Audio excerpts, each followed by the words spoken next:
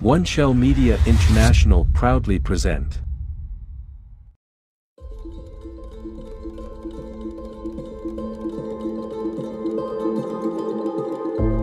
Five creepy African folktales. Number five, Inkanyamba. The Inkanyamba is a giant serpent that lives in the northern forests, near Pietermaritzburg, the capital of KwaZulu-Natal. It has the body of a giant snake, but its head bears a closer resemblance to a horse. This creature is not only famous for its innate strangeness, but also because its emotions can influence the weather. It's said that the creature getting angry is what causes the seasonal storms. This causes it to have a direct effect on the human's ability to survive. Giant eels that can grow to 6 feet in size have been verified in the area. It's possible that stories of these eels were exaggerated to form the creepy African folktales spread of this creature. Number four, Gbahali.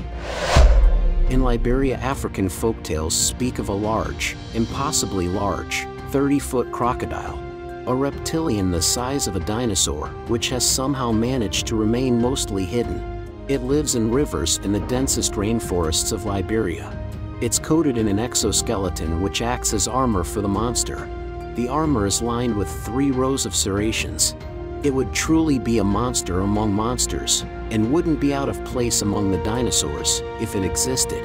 There are claims that some people who have wandered too far into its territory have become victims of the large beast.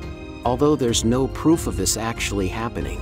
Some people believe it may be out there, but most likely it only exists within African folktales. Number three, Adze.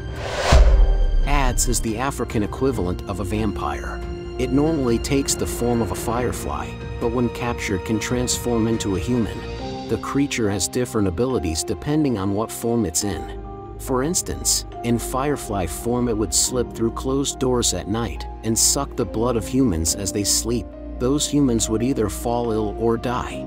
There is no way of killing it in this form, however, it is possible to capture one. The danger here is that when it's been captured it can transform into a human. While in human form it can possess humans, turning them into witches. Number two, Grootslang. Grootslang means great snake. It's a giant creature with the body of a snake and the head of an elephant. According to African folktales, the gods considered the Grootslang to be too powerful, and so they divided it into two animals, the snake and the elephant. The Grootslang that exists today managed to elude the gods and escape their fate. Grootslang live in caves and guard treasure. People often think they're similar to dragons in that respect.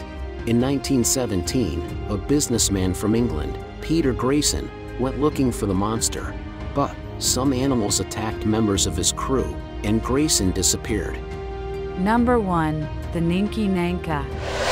The Ninki Nanka is a legendary creature from African folktales. It has a reptilian-like appearance, which is reminiscent of dragons, an extremely large and deadly animal which ranges from 20 feet to 50 feet long. It lives in the swamps of West Africa. When children grow too bold and think they can disobey their parents and enter the swamp, they become victims of the Ninki Nanka. If you happen to see the Ninki Nanka, some say that if even if you survive the encounter, you'll die only a few weeks later.